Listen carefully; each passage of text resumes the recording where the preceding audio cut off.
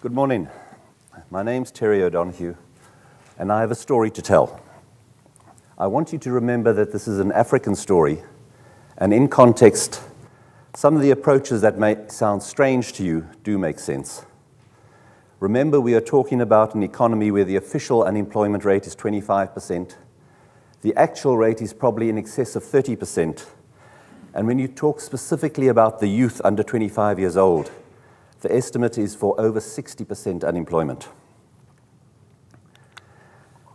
If I was to try and summarize this presentation, I tell you it's all in the book and it works. More conventionally, um, I'll give you some background. You have to have some context to understand what we're doing. Touch on the hypothesis we were testing. Look at the results we got, but more importantly, what we did. And specifically in four areas what we did on alignment, in the service department, vehicle prep, and vehicle sales. What we learned doing it, what we didn't get right, and then some measures and evaluations. It was always a challenge in activist circles in the 80s that whenever someone got up to speak, they would have to answer the question, Who gave you your mandate? Or, in other words, why should we be listening to you? So, from habit, if nothing else, I'll give you some background. I spent 30 years at Toyota South Africa. And it's not so much the years I spent there in the various divisions, which included IT, finance, marketing, production, distribution, and after sales but it was the timing of those years. Toyota South Africa started in 1963, importing stouts, and by 1967 had begun local manufacture. It was owned and run by the Wessels family. By 1980, which is the year I joined, they'd reached the number one position in market share. This is a position they've held unbroken since then, and they'll reach 35 years market leadership this year. With the success came a certain hubris.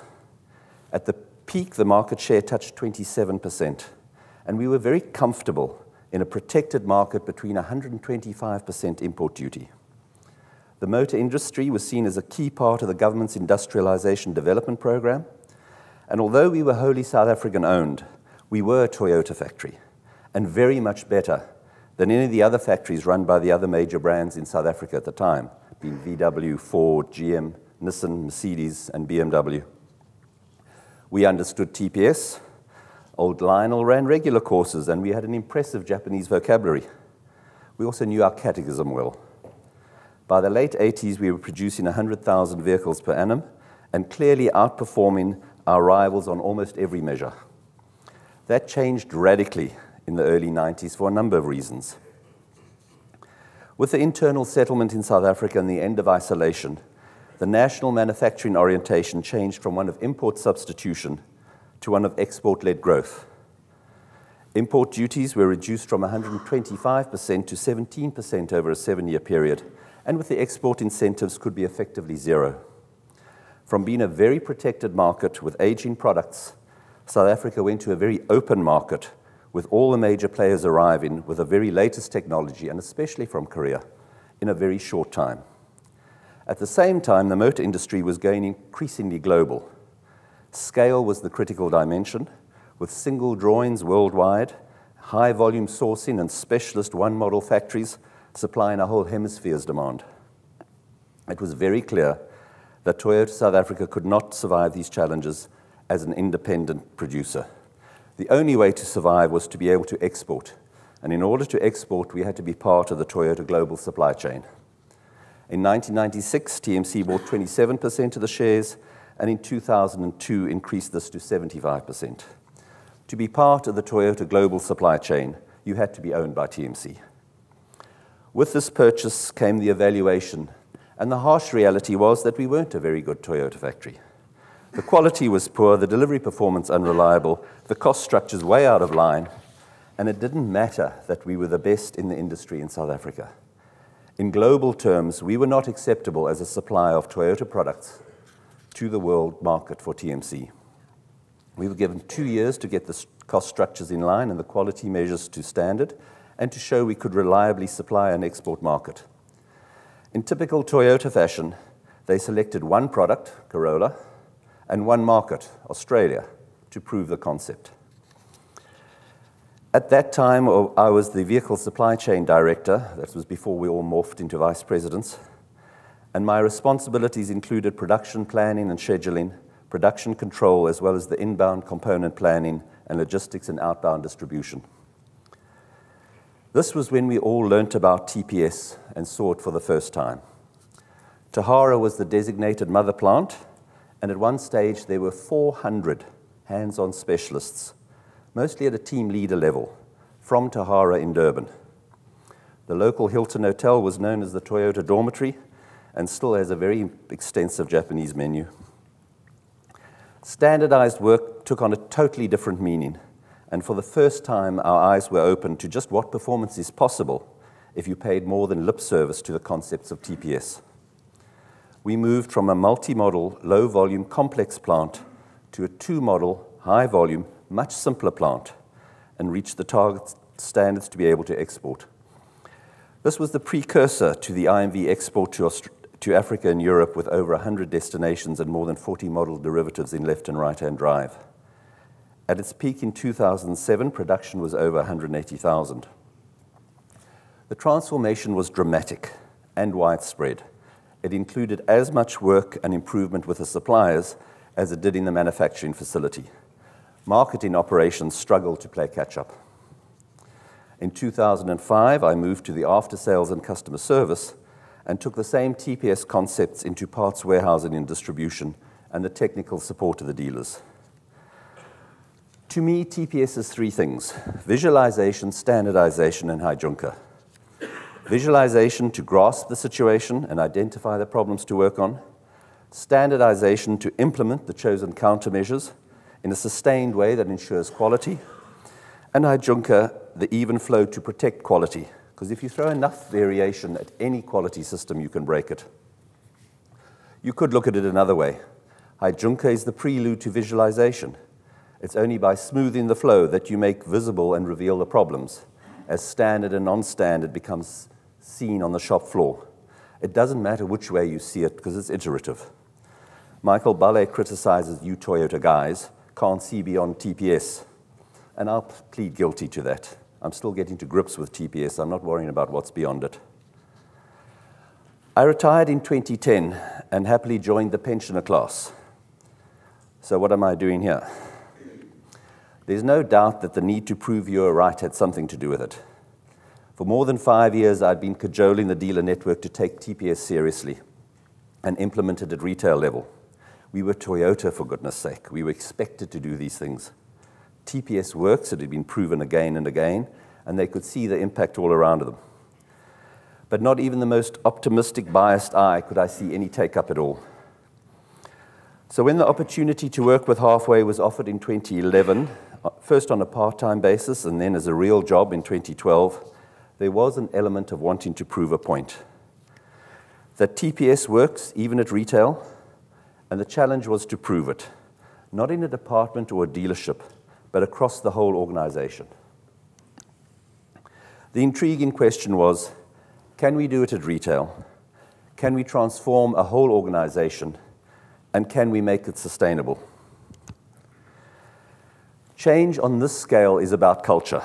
And as this rather long quote from Peter Senge says, at the heart of transformation is the issue of unilateral control.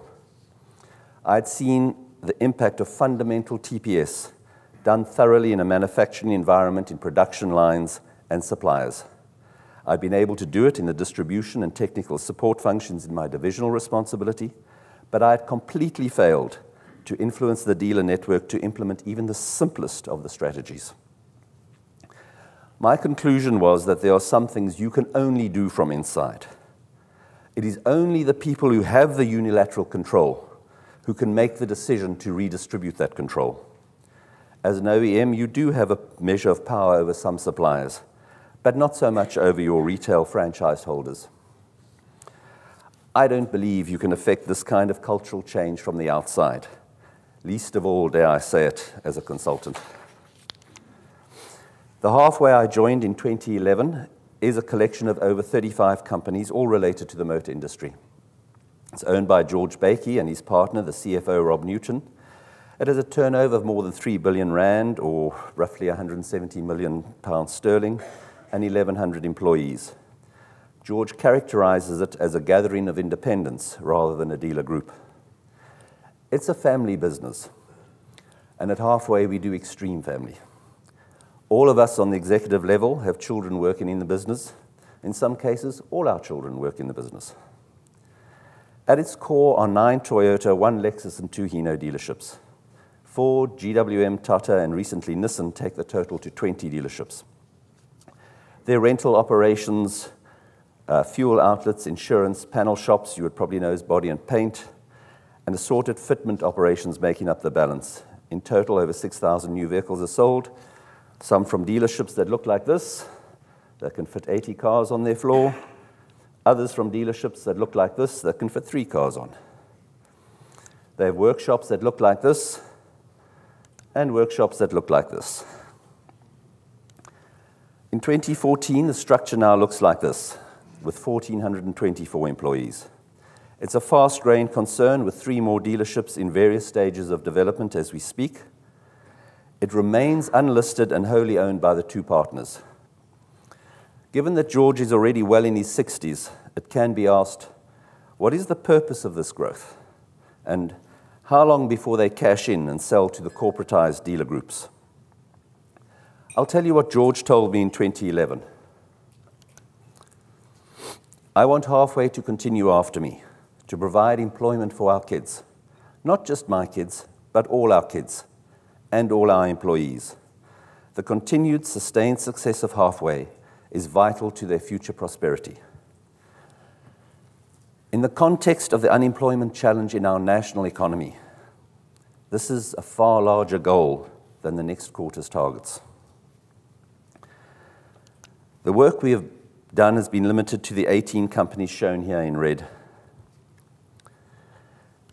The hypothesis we were testing is that dealers can reap the benefits of lean too. From those erudite authors, Brunt and Kiff, they claimed that you can, dealers could double their throughput, doubling their profitability at least, while sustaining customer satisfaction, fulfillment, and loyalty. Really? Let's have a look at the results we had since 2011. George was much taken by Art Byrne's talk at this conference last year. The dramatic impact of turnaround efforts and the stellar improvements in all sorts of measures. So, lightheartedly, we talk, we talk of the Art Byrne numbers whenever we have great improvements. Bear in mind also that this is over a period of a market that's been going sideways, so it's not a case of an incoming tide lifting all boats. We look at Ot- Ottery profit, where we started in 2012, five, five-fold increase in four years. And Ngami profit, we, which we acquired last year, we've had a doubling, doubling in profit since joining halfway. Fourways labor hours is up 50% to one of the highest in the highest nationally. Ottery used cars is a threefold increase. Their production center turnover, more than threefold increase. And we can look at Ellis's walk in. He used to walk 2.4 kilometers for every car he serviced. He now walks 260 meters per service. On our Greenstream predictable work, if we look at the efficiency that we get in there, it's running at 267% with a 94% GP on labor. And fitting safety film, which took 90 minutes, is now down to 12 minutes. So we can also do the Art Byrne numbers, and they always make shareholders happy. I'm a bit more cautious. I think measures like this often say as much about how bad you were as they say about how good you've become. Give me the modest 15% improvement every year. Every five years, you will double your output. And more importantly, you would have built the capability to keep doing it. And in 30 years, you'll be 6,000% bigger. So, where do you start? Well, you start with yourself. I started with my own HK, and my overall goal was to develop 1,067 problem solvers. The overall strategy was agreed, outlining purpose, process, and people, and highlighting the values and goals. We started by trying to build alignment. At a monthly gathering of DPs, we would look at a 20 box matrix for each of the dealerships, volume, margin, cost, and quality for each of the five departments on a red green basis. It was just a question of getting used to seeing the same picture and discussing the actual versus target over time, talking about the gaps. It also got people used to stand up meetings. Customer fulfillment, as distinct from customer satisfaction, was introduced as a major KPI. The choice was either to spread the effort across the group to get take up or to concentrate on a few and make progress and create a credible example. Like most things, they tend to take their own path, and we ended up with a hybrid or organic approach. On the basis that I'll only work with the willing, we spent more time where the take up was greatest. At this stage, we have more than enough of the willing not to exhaust ourselves on the less willing. What we were trying to do was to create alignment around the new approach. The outcome we want is, is depicted in this picture. Visualization of the result KPIs helped, and we gradually came to understand the process KPIs which drive the result. The whole process of visualizing results and printing them big enough to be read on the wall is, as one DP put it, very revealing. To kickstart the transformation, we did spend time on engagement with the staff. Using a process of dialogue based on the work of David Bohm, it involved talking to people, all the people, giving them a voice, and more importantly, an opportunity to tell their own story. These discussions move on to values and aspirations as we highlight the things that bind us together. These sessions can get intensive and emotional as the sharing gets raw and authentic. But in the context of where we have come from as a society in South Africa, it has a powerful impact on giving people back their sense of dignity and helping us understand each other. It broke the silence around our history. It may be that we only really get transformation when there's a strong emotional component. I think I'm of that school. We move on to the harder business goals and get very specific on targets and desired outcomes. As Margaret Wheatley warns us, involvement is the key to transformation.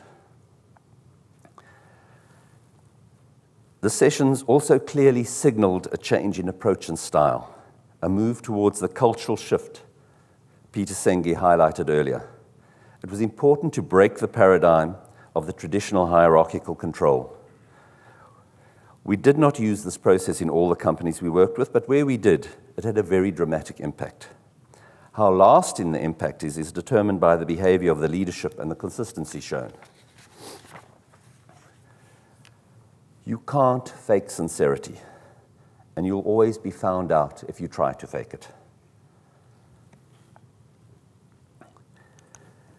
We always start work in the service department of the dealership. It's the most factory like part. The work cycles are relatively short, and you get a chance for repetition. And the work is visible on the shop floor. We find it the easiest place to introduce the concepts and to practice using the tools. It also helps that the people in after sales are often by nature more structured and disciplined in their approach to their work than many of their vehicle sales colleagues. The customer value we aim for is uninterrupted mobility, delivering right first time quality on time every time. We start by separating the work into predictable and unpredictable, and then organizing the predictable work in a flow to move one unit at a time. Typically, we find half the number of vehicles coming into the service center can fall into the predictable category. With some additional effort, this fraction can be pushed closer to the three quarter mark. Studying the work methods, the work and the methods used to identify and eliminate waste starts around the hoist. It is detailed and painstaking work. It happens at the most basic level of movement and the availability of resources and components by the second, by the meter.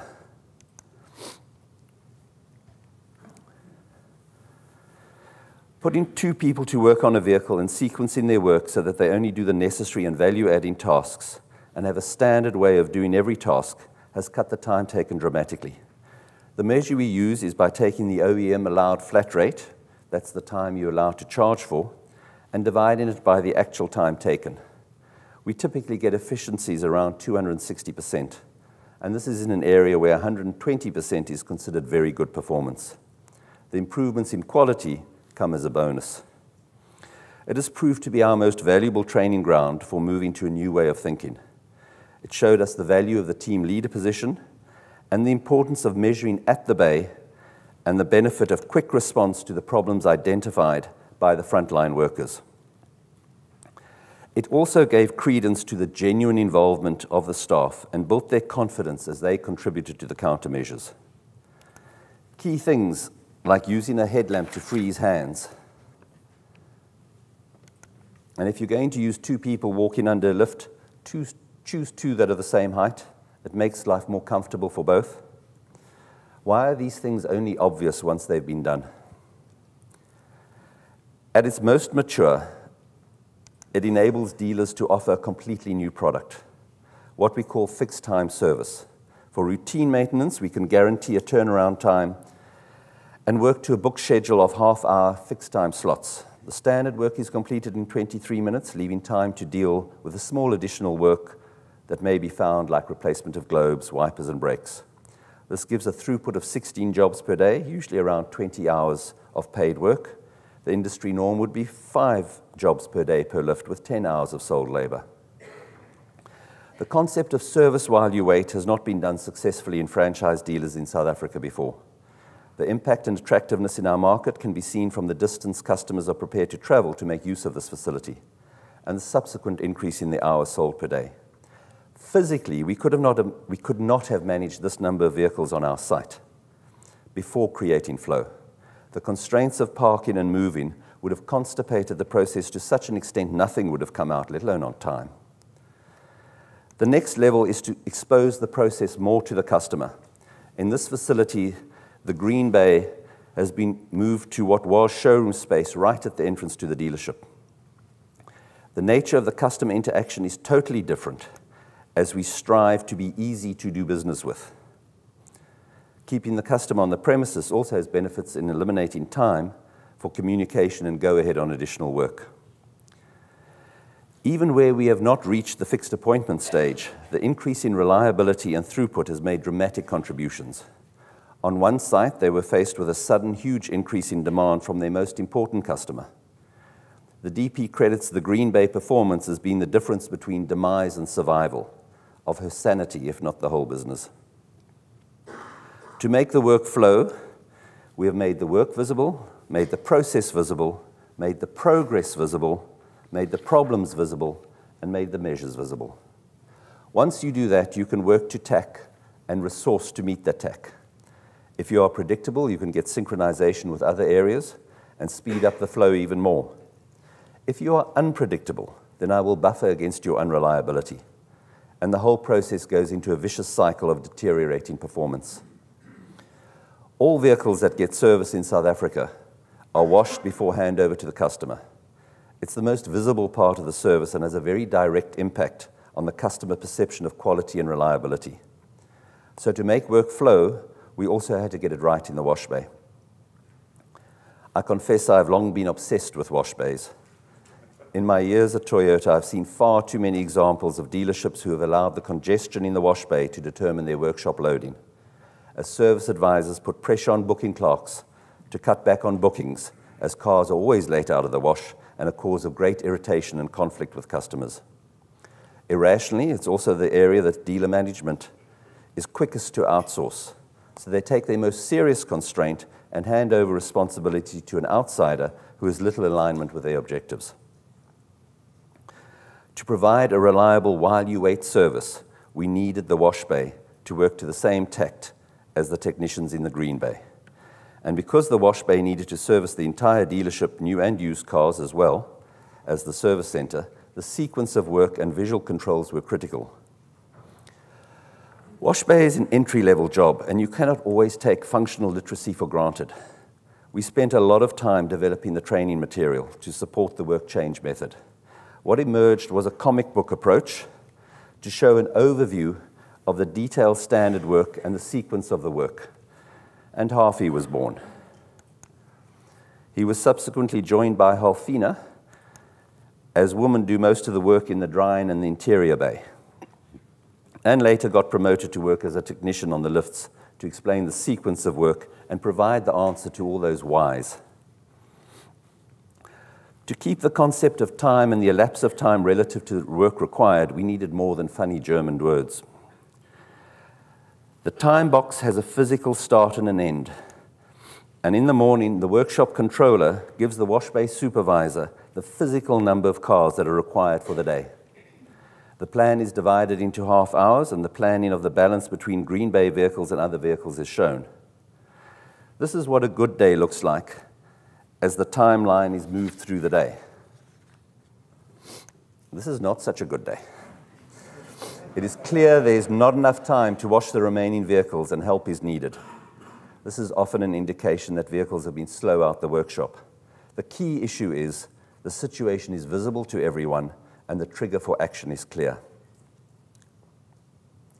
To increase the proportion of work that can be made predictable, we have been working on a pre-diagnosis process for more complex work. While seemingly duplication and waste, the process concentrates on identifying all the work required, not completing it. The necessary authority to go ahead with the work and the sourcing of the parts can then take place while the vehicle is in a holding area between lifts.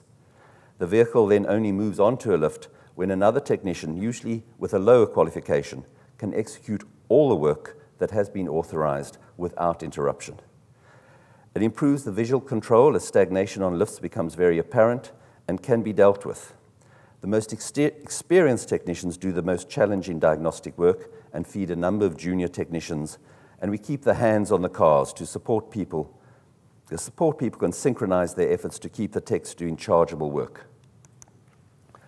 So far, the results have been encouraging, and we are able to add about 20% more work to the predictable stream and even accounting for both the pre-diagnosis and the repair time, we get inefficiencies of 170%, with an even greater impact on gross profit and quality as the most appropriate skills are used for the right work.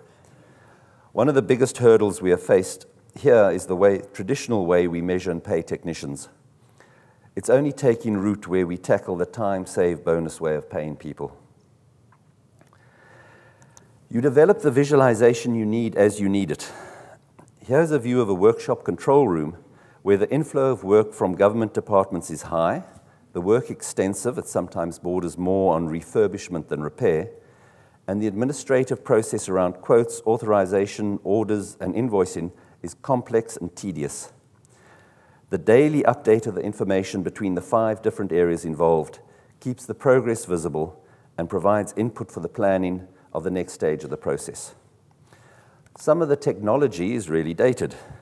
This is Makhosi's abacus. It was built by the welder with rods and nuts, and it's the fastest, most effective way of workshop planning I have seen. Vehicle preparation was approached in much the same way. Getting new vehicles ready for showroom or delivery has a standard process you can define and execute in a standard way. Again, it requires the coordination of various players and the visualization of the progress helps eliminate the stagnation in the flow. Delivered on time has not been an easy concept for salespeople to get their head around, but at least we have made progress with ready on time. The steps are the same. Define the process, set the target, measure the actual versus target, focus on the gaps, and develop and implement the countermeasures to eliminate the gaps. Note that the slides are always updated by hand in the presence of the team by the person responsible for doing the work. The closer to the place of work, the better.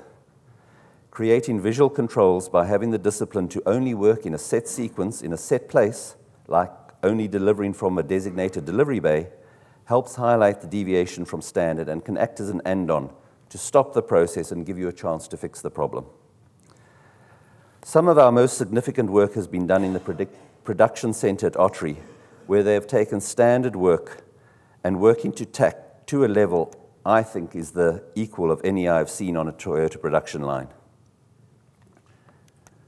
All the staff at the production center have progressed from starting in the wash bay, and there's a respect and a dignity in the work at all levels that has to be seen to be appreciated. The performance of this area played a significant part in this, to support the growth of this dealership. They work from very space constrained premises, and the effectiveness of what they have done enables them to sell 200 vehicles a month from a site and achieve a utilization of 4 square meters per car versus an industry norm of 20 square meters per car delivered. I dread the day we are forced to move to premises that are big enough, as I fear the mother of the inventiveness will be lost. Used vehicles benefit even more from the synchronization of cross-functional efforts. The requirements are more complex and can involve more time. Again, the fundamental point lies in establishing and agreeing a consistent standard, defining what constitutes an acceptable level of used in a car by age, by zone on the car, by functional feature. It makes it possible to define the work required on each car and possible for the work to be delivered to that standard consistency in a defined time. This gets beyond the no, the customer will accept that subjective debate. Used sales has long been our most underperforming area in the halfway operation, and the implementation of standards and standard work is starting to make a difference to the confidence the salespeople have in the product and the confidence the customers have in dealing with us. One of our biggest opportunities is to leverage the car rental operations we run to provide quality used vehicles in sync with market demand, establishing the standards and dramatically reducing the preparation time by selling dealers showroom-ready cars has already had a positive impact on both the rental companies and the dealerships. And as they say in the classics, you ain't seen nothing yet.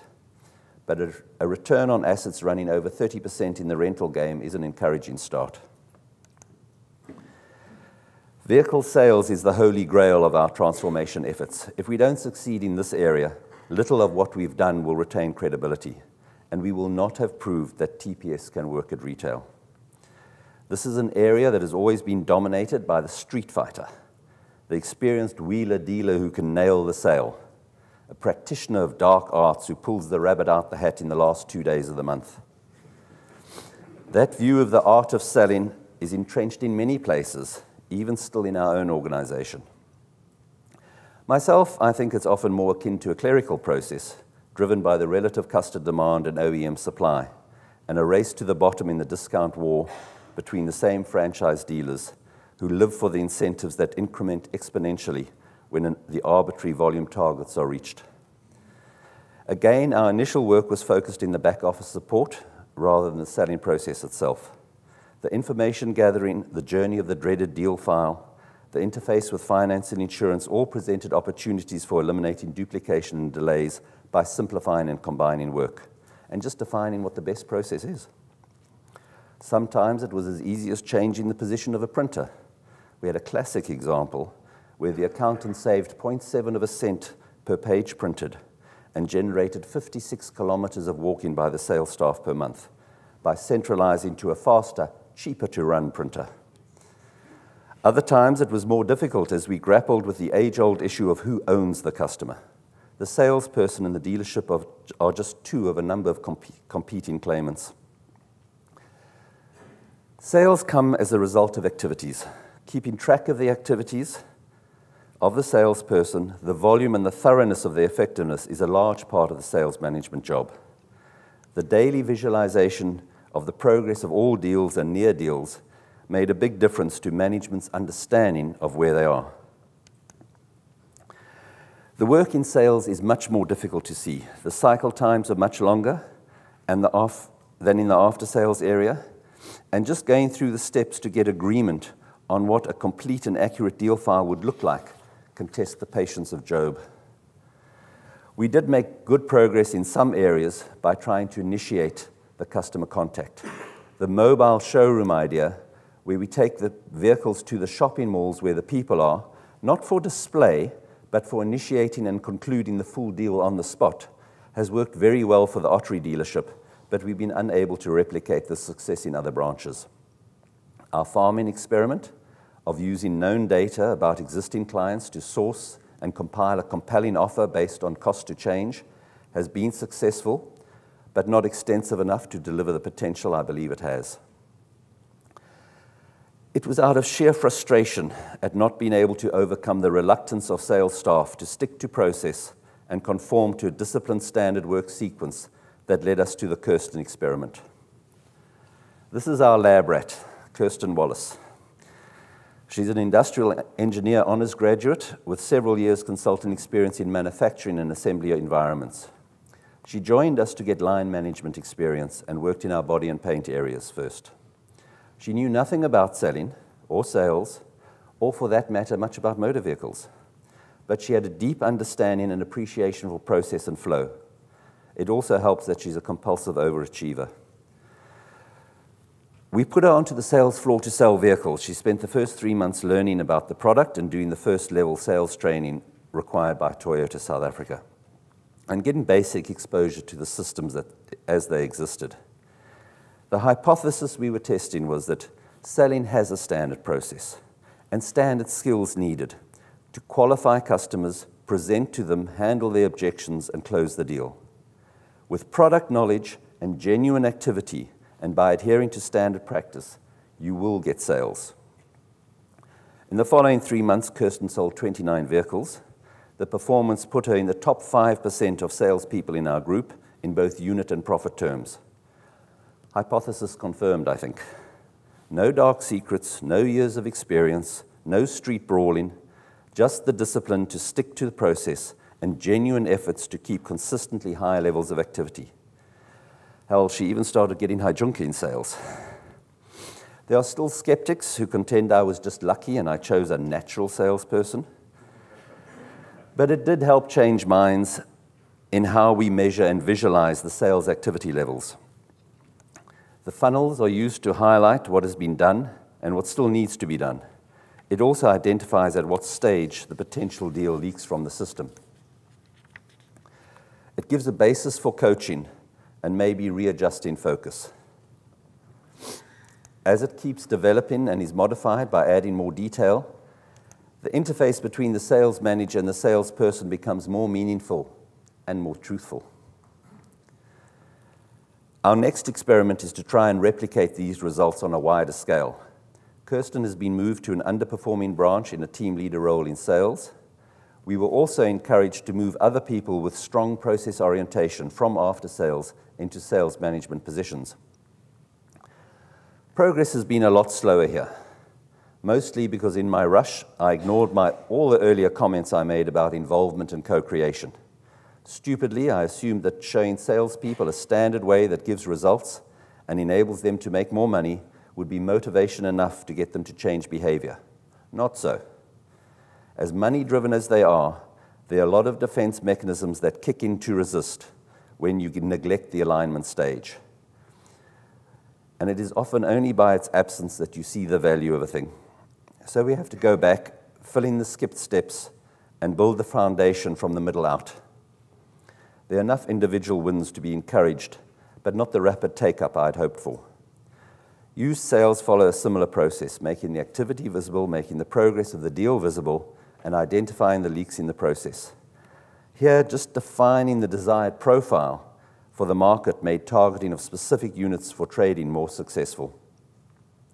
Consistent supply of quality used vehicles from the rental operations is encouraging the, pay, the salespeople to pre sell in the confidence that the vehicle will arrive to standard on time. With this, the velocity and turn is improving and the stock carrying cost is heading in the right direction. I want to use the remaining time to look at the lessons we have learnt and what we know we have not got right and conclude with the measures.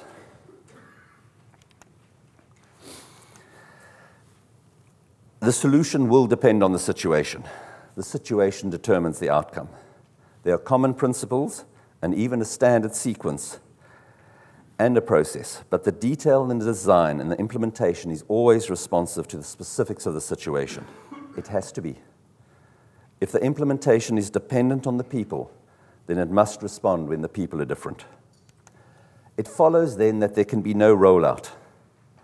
This is not something you can perfect on one site and then package for implementation and with some cursory train the trainer efforts spread throughout a network and hope for sustainable results.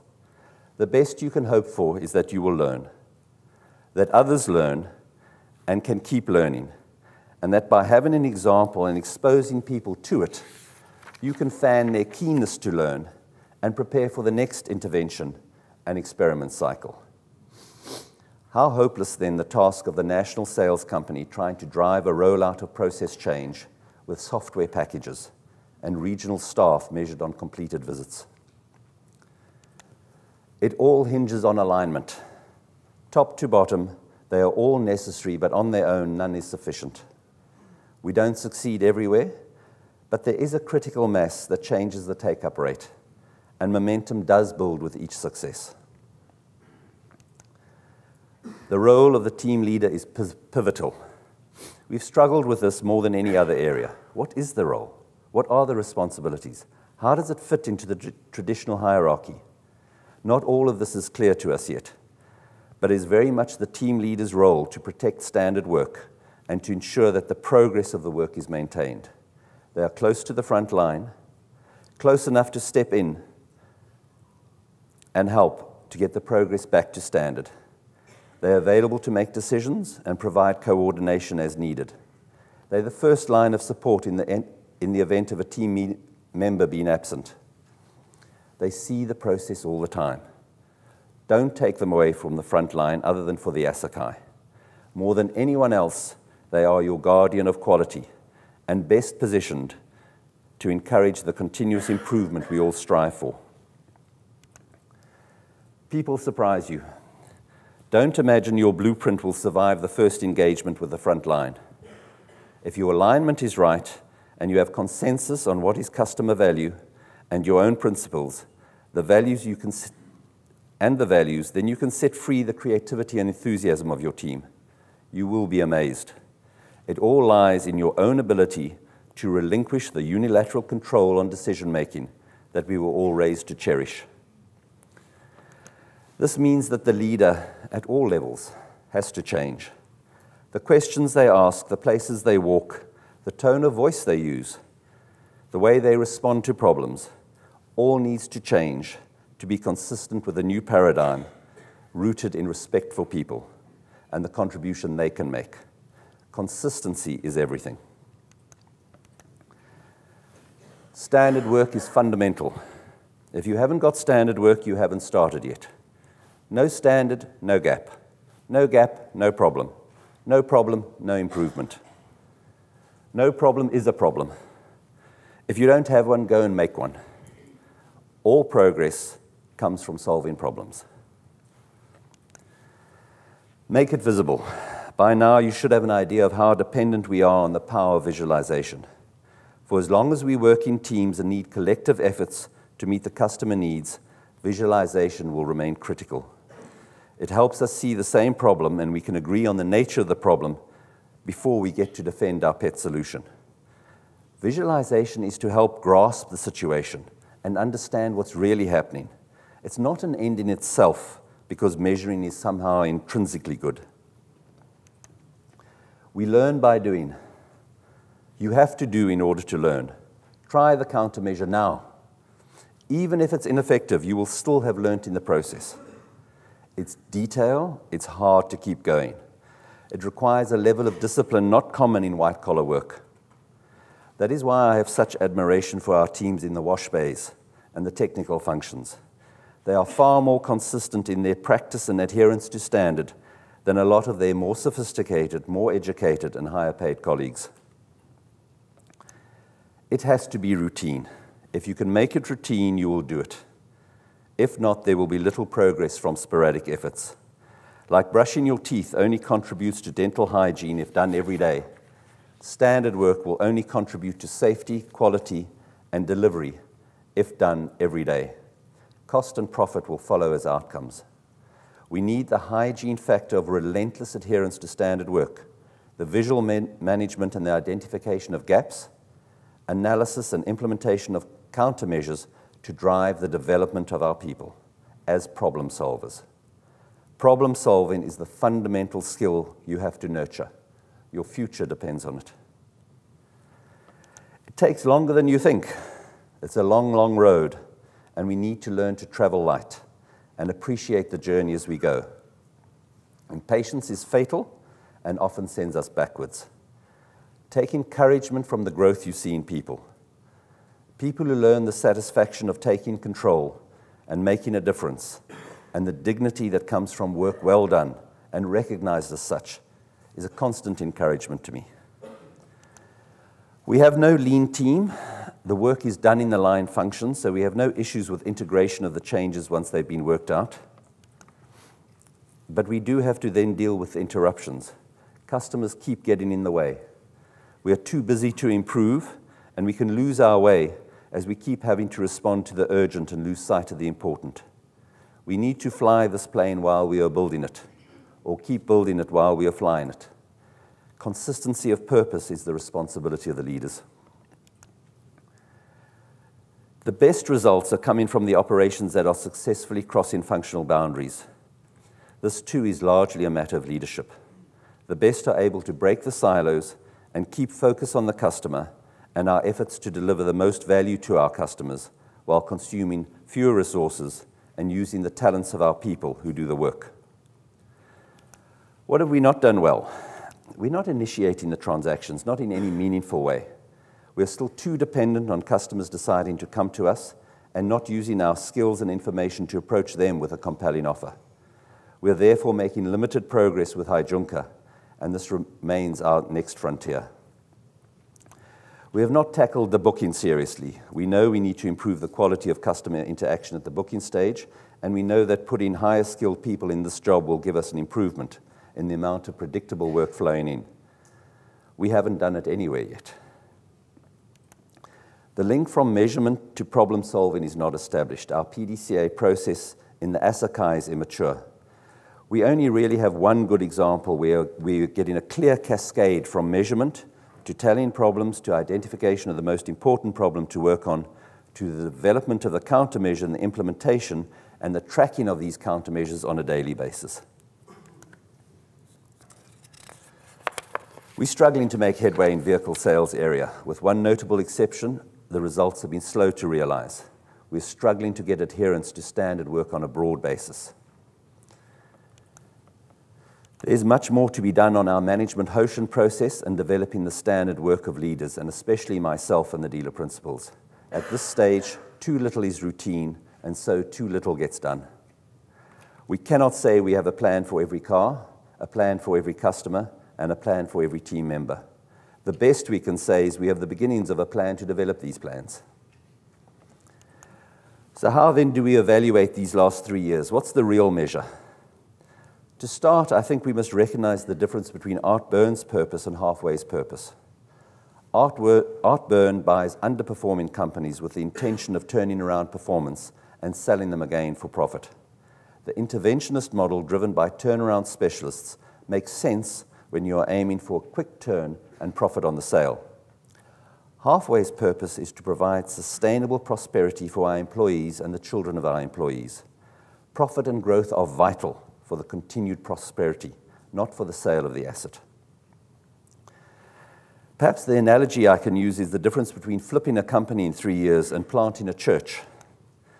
This venerable Victorian gentleman is Robert Moffat of the London Missionary Society. In 1921, he journeyed from his native Scotland to start a mission station in Kuruman on the edge of the Kalahari Desert and way beyond the colonial boundaries of the time. It took him 10 years to build the first school and have the first family of converts, and another nine years passed until they built the church. But at the 175th anniversary of that Kuruman Mission Church last year, the congregation and adherents numbered in tens of thousands. The purpose of the mission was to evangelize and convert and transform lives to lead to salvation. Measured in any of the 50 years of his life at Kuruman, Robert Moffat's success would have been judged as paltry. In terms of the realization of his purpose, we would now judge his impact as art burnish. I look for our measure of success in the impact it's had on the life of our staff. This is Karim, Karim was a street hawker selling samosas to try and make a living. He's now a qualified artisan with extensive skills and owns his own home. Sean is a sales executive. He's resolved his debt problems and moved from this house to this house. Gertrude is a single mother with a basic education, and she grew up in the impoverished area of the Eastern Cape. But she has a customer network second to none and is often our, most, our top salesperson. This is her daughter starting her first day at the University of Cape Town. You cannot imagine how different Keswe's life experience is going to be from that of her mother's. My good friend Alex, and yes, he is as rough as he looks. He was able to fund his wife's full time studies, and she recently qualified as a nurse. Webster was unemployed and unemployable. He lived in a shack in Khayelitsha. He started in the production center Wash Bay and is now the team leader in our safety fitment film operation, and he owns his own home. Haley is upgrading the lifestyle of her family in ways that were unimaginable to her parents.